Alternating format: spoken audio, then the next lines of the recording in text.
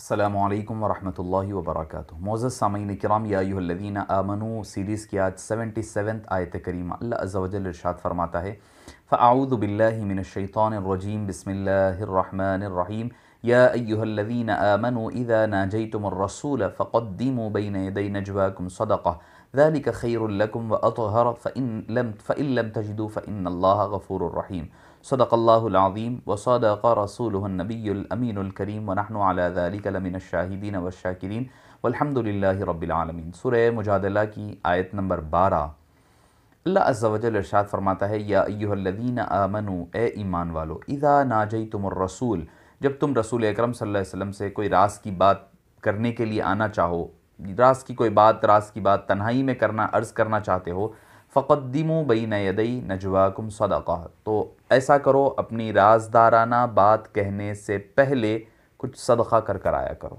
यानी हबीब पाक से मुलाकात करना है, हबीब पाक सल्लल्लाहु अलैहि वसल्लम के दरबार में बैठना है और आपसे कुछ गुफ्त शुनीद करना है, कोई मशवरा लेना है आपसे, कोई राज की बात आपके गोशो गुजार करनी है तो क्या करो? फ़क़द्दिमु बैन यदई नजवाकुम सदक़ा। सदक़ा दे करके आकर के अपनी बात करो। ज़ालिका खैरुल्लकुम ये तुम्हारे लिए बहुत बेहतर है।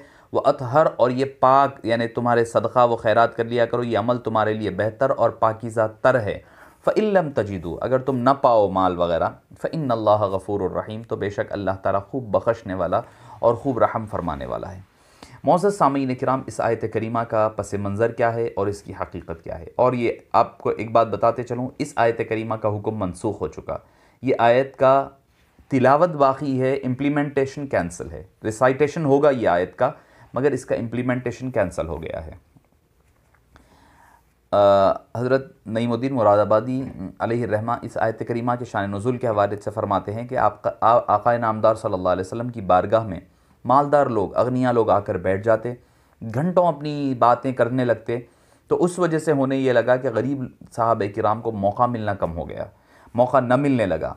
तो वो अर्ज़ करने लगे, करने तो अपनी मारूज़ा पेश करने वालों के लिए मुश्किल होने लगा वो आपके दरबार में आने के लिए। तो अल्लाह ने ये हुक्म नाफिस फरमाया कि मालदार जो लोग हैं वो जब आएँगे तो क्या करना? आ करके पहले आपके दरबार में बैठने से पहले सदक़ा कर करके आपके दरबार में आना। अच्छा हुआ क्या? अल्लाह ताला जिसके नसीब में, जिसकी किस्मत में जो नसीब फरमाए इस आयत करीमा के नाजिल होने के बाद एक ही शख्स ने, एक ही सहाबी ने इस पर अमल किया, वो है हज़रत मौला मुश्किल कुशा अली मुर्तदा रदी अल्लाह अर्ज़ा आपके बारे में आता है कि आपने एक दीनार सदक़ा किया और आकाए नामदार सल्लल्लाहु अलैहि वसल्लम की महफ़िल में हाज़िर हुए।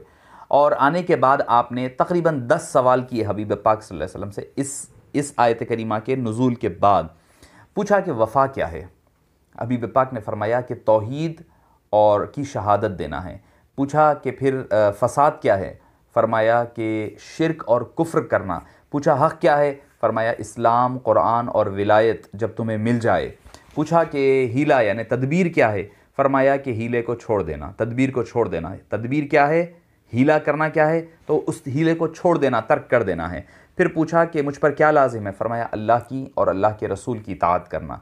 पूछा, अल्लाह ताला से कैसे दुआ मांगूँ? तो फरमाया कि सिद्क के साथ, यकीन के साथ, यानी सच्चाई के साथ और दिल के मज़बूत इरादे के साथ मांगो। पूछा कि क्या मांगूँ? फरमाया कि आफ़ियत मांगो। एक आखिर एक एक रिवायत में है कि आखिबत यानी आखिरत की अच्छाई मांगो। फिर पूछा कि अपनी नजात के लिए क्या करूँ? फरमाया कि हलाल खाओ और सच बोलो। हलाल खाओ और सच बोलो। फिर पूछा कि सुरूर क्या है? फरमाया, उसका नाम है जन्नत। फरमाया कि आ, क्या फरमा अर्ज़ किया हज़रत अली ने कि राहत किसको कहते हैं? फरमाया अल्लाह का दीदार जो है हकीकी राहत है। जब ये आयत करीमा नाजिल हुई और हज़रत अली ने इन सवालों को दस सवाल मुकम्मल करे तब ये आयत का हुक्म मनसूख कर दिया गया और रुखसत नाजिल हो गई। सिवाय हज़रत अली मुर्तदा रदी अल्लाह वकरम करीम के किसी को इस आयत करीमा पर अमल करने का मौका न मिला। जैसे कि पीर करम शाह जरी ने तफसर ज़ियाकुरान में बयान फरमाया।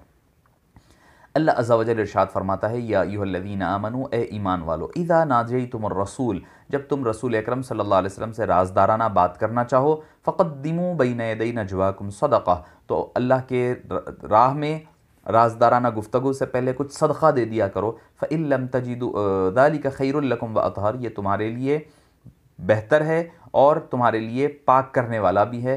फ़िल्म तजीदु, अगर कोई गरीबी की वजह से खैर खैरात ना कर सको, कुछ ना पाओ फ़िन अल्लाह गफ़ूररहीम तो बेशक अल्लाह ताला खूब बख्शने वाला और खूब रहम फरमाने वाला है। असलकम वरहि वबरकातुहू